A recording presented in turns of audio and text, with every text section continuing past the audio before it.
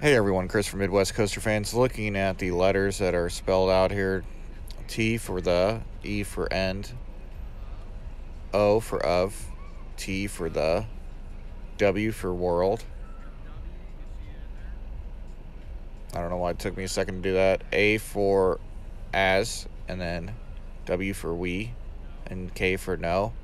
I for it. And then you look at the small details on here, and I had to do a voiceover because of the loud noise around me but there's different graphs and variations and then you have the 11 colon az on the first one that we just saw and how many tests are administered the test results the test purposes 11 colon sd there's different abbreviations going on here.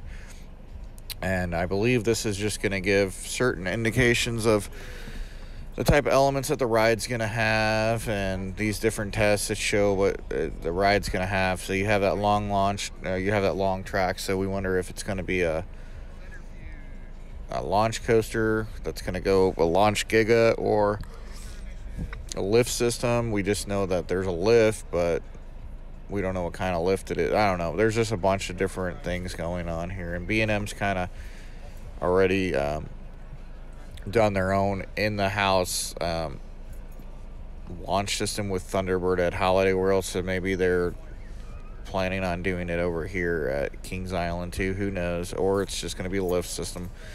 Uh, what we do know is it's going to probably have inversions. It's probably going to have a different types of elements, positive G's, negative G's, because that's what the different test results are showing that's going to have different effects on the body and stuff like that. So there's a full board there, and as we were we record the voiceover today, I had a couple friends tell me that nothing's changed at the park. So those are the complete posters, which totals nine of them, which is spells out the end of the world as we know it, which is also an REM song. And if you looked at our prior video, we already spelled out that we showed you some lyrics in there that kind of identified some of these different posters, these different elements, and these posters are located right next to Flight of Fear. So go ahead and check it out if you get a chance. Um, if you end up going to Kings Island. Then I also went up to the Eiffel Tower and got some shots uh, for you guys. Um, just uh, these are just shots of some uh, footers. There's nothing really special about any of these shots at all. Uh, there's no vertical things going on. You could see the Firehawk um, train still in the background, so I don't know if they're going to use that kind of as a theme of the area. Uh, obviously, they might repurpose that for something else. And then you can see the clearing all the way back there, but nothing going vertical at this moment. We have not had any announcements. So hopefully this upcoming week we'll hear something about the announcement date. Please subscribe to our channel for future content. This is Midwest Coaster Fans. Chris signing out.